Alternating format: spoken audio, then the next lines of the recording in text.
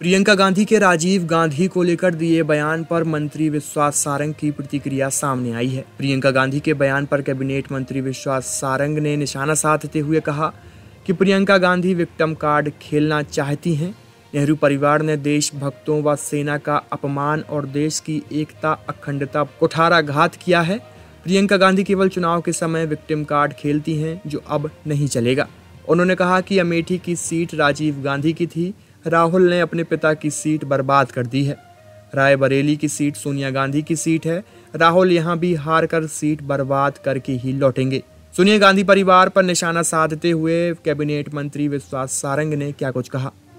जहाँ जहाँ पैर पड़े संतन के ताता बंटा ढार, अमेठी की सीट, राजीव गांधी की सीट थी, पिताजी की सीट तो राहुल गांधी ने बर्बाद कर दी।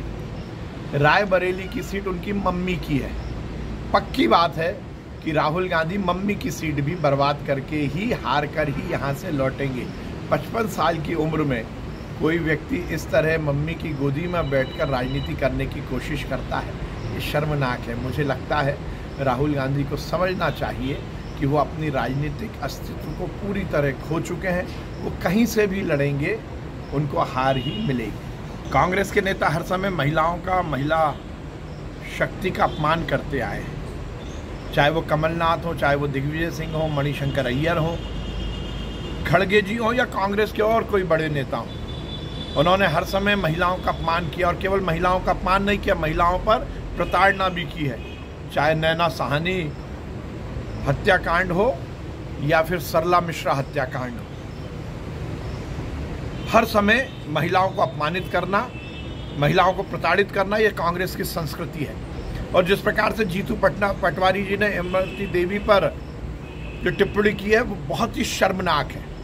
इमरती देवी केवल महिला नहीं, एक दलित महिला है। दलित का इस तरह से अपमान करना निश्चित रूप से ये कानून की परिधि में आता है। इसीलिए अब जीतू पटवारी पर जब एफआईआर हुई तो डरते फिर रहे अब माफ़ी मांगने की बातें कर रहे हैं। और सही मायने में शब्द के बाण एक बार निकल जाते हैं तो वो वापस नहीं आते।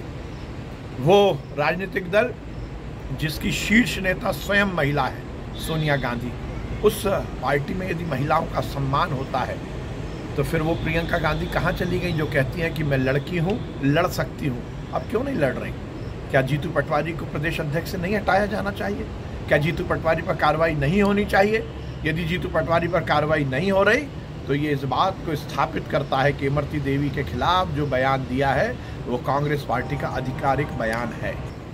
हर समय विक्टिम कार्ड खेलते हैं। इस देश का बेड़ा गर करने वाले नेहरू परिवार ने आज़ादी के बाद इस देश का केवल और केवल अपमान किया है। देशभक्तों का अपमान किया है, सेना का अपमान किया है। इस देश की एकता, अखंडता पर कुठाराघात किया है।